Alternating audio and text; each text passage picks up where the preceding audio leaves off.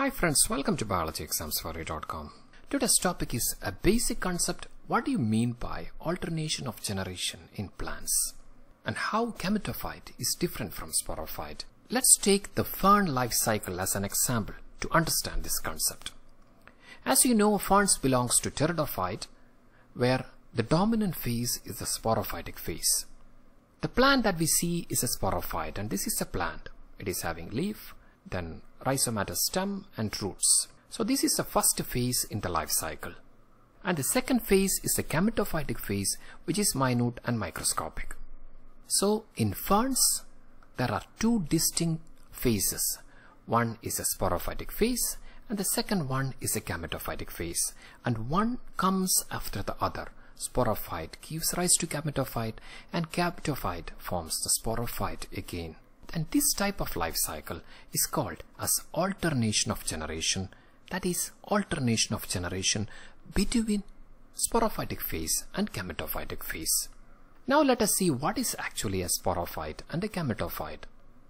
As you can see, sporophyte is a diploid plant where two sets of chromosome is present.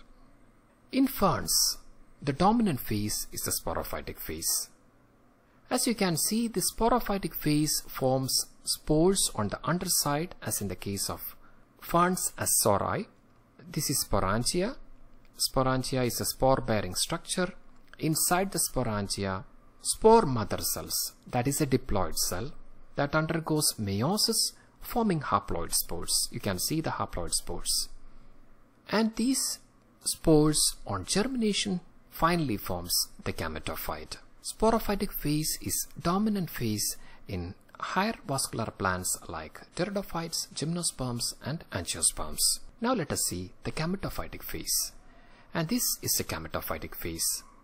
Gametophytic phase as it is produced from the spores which is haploid, gametophyte is a haploid plant.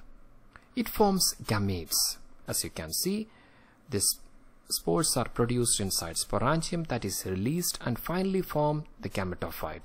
The gametophyte of ferns is called as prothallus. The gametophyte produces sex organs. So this is haploid. So gametes are also haploid. Therefore, mitosis produces gametes. Gametes are formed inside sex organs. The male sex organ is called as the antheridium and the female sex organ is called as the archegonium. The sperm cells or male gametes that is produced by antheridium moves towards the archegonium and fuses with the egg and finally forms the zygote. Thus the diploid stage again continues. That zygote germinates to form the sporophytic plant again.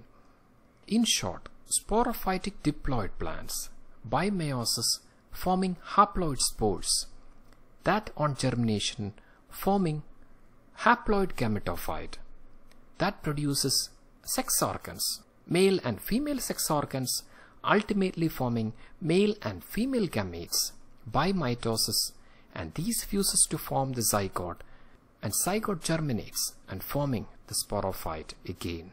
That is why this is called as alternation of generation. One comes after the other. Sporophyte forms the gametophyte and gametophyte forms the sporophyte.